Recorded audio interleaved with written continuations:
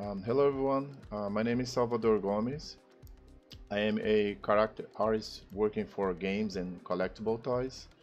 And a friend of mine here on YouTube asked me how do I uh, make my render here inside of ZBrush. Uh, my main goal here is be as quick as possible when I'm doing my render here. It's nothing special, it's just a simple stuff.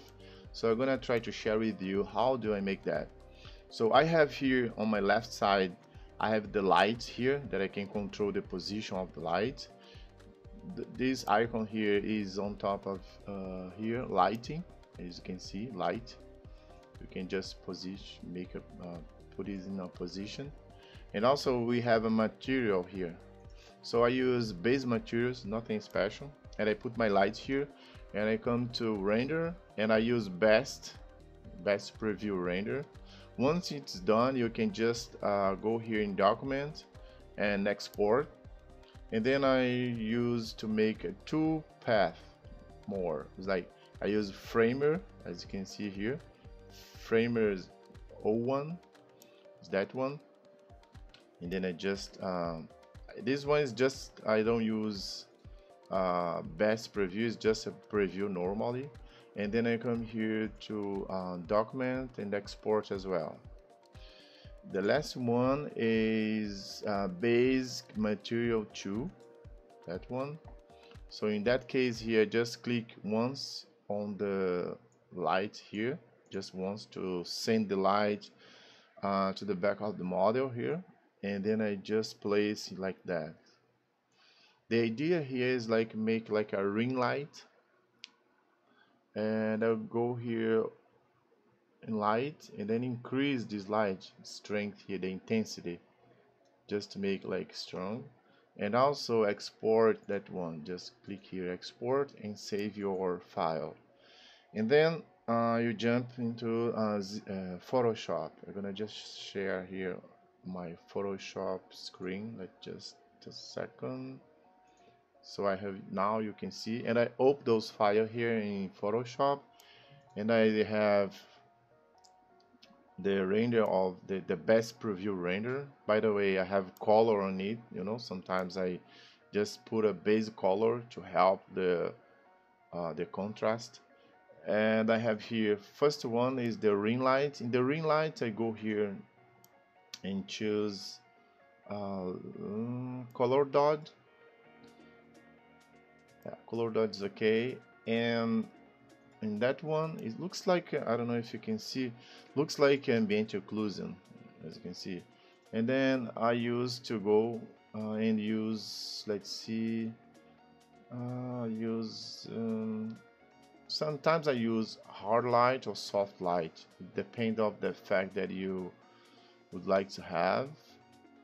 And I think it's gonna be for soft light. And then you can just turn yeah the soft light works very well. And then after that I just use some mask. I create a mask for both layers. And I just erase something that I don't like. For example here on my ring light as you can see. So I have some lights here that I don't like. And then I just use the just erase some things that I don't like. For example on his face I don't like those lights here. And then just erase. And also uh, let's see here. Also those lights here I don't know if I can keep that. I actually gonna just erase these. I don't like that one as well. This one here thing no I don't like as well yeah just erase something that you that you think that shouldn't be there. For example those lights here inside of the cave doesn't make sense. And that's it. And for that one the ambient occlusion one. So and then I go here on his face mainly because I want to see his face.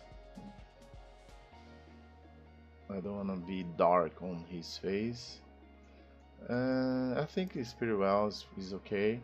And for last last touch that I use here I go to um, and create a a vibrance I come here and create a vibrance and you can see and then I decrease saturation because I, I want to show just the statue like I want to just show the model without color to I don't want to have any distraction like with color sometimes you cannot see how is the model. And here in vibrance I use to decrease as well. It depends of the, the if I want a less dark or if I want a more like cont con contrast I think gonna be like around here. And that's it. And then you can just save and and show your model so the main idea here is just be as quick as possible. I don't want to like spend too much time doing this this kind of render you know like I want to go as fast as possible. Also I used to render inside of Maya using Arnold. Uh, if you'd like to see how I, I make that inside of Arnold please leave your comment below. Also don't forget to subscribe to my channel and also please give me your thumbs up as well. It helped me a lot to motivate and make more videos. I'm, I'm making a series of videos with tips and tricks. So I'm, I'm doing Portuguese guys. And if you like to see me doing English as well please just let me know and I'm gonna like make all those videos that I made in Portuguese also I can make in English. Just let me know if you want to see that. Thank you very much guys. I hope to see you next.